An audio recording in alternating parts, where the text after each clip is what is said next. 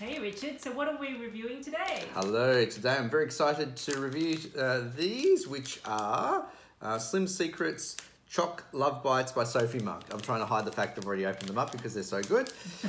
so uh, this is one of my favourite uh, snacks. So, Yes. well, So where did you get these from?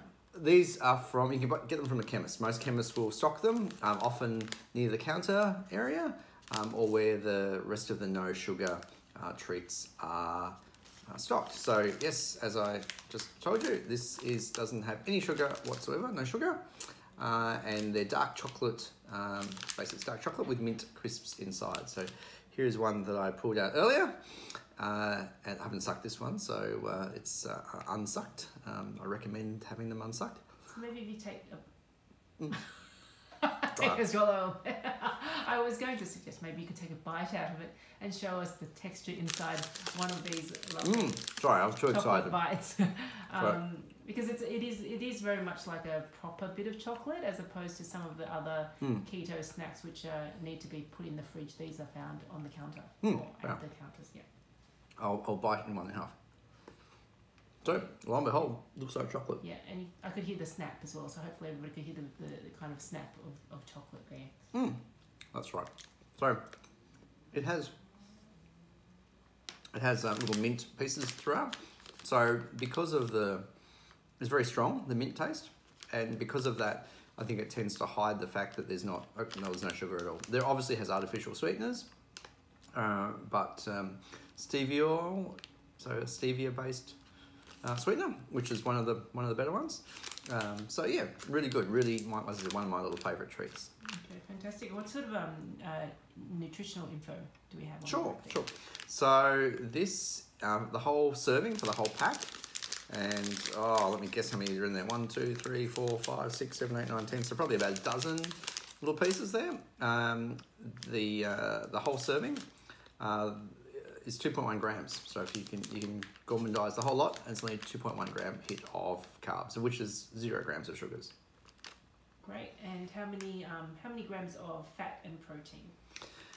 Okay, 12.6 grams of uh, fat for the entire serving, uh, and protein is 2 grams of protein for the serving.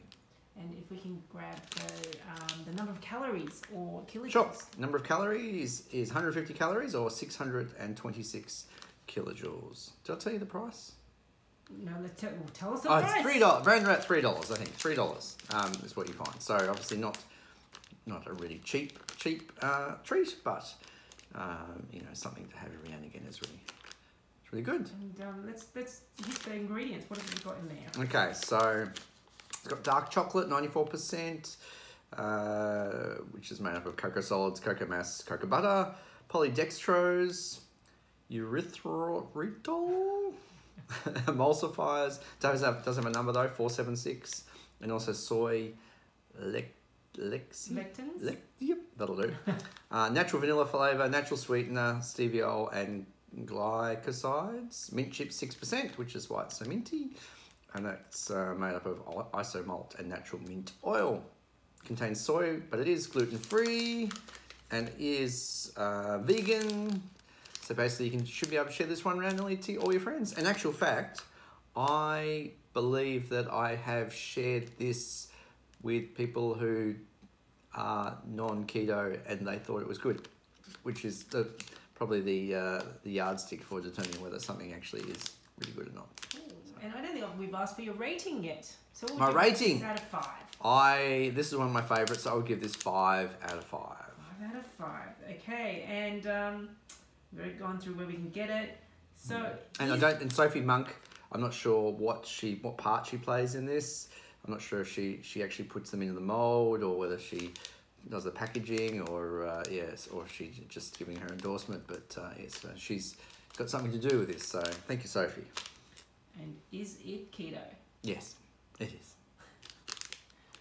Fantastic. Okay.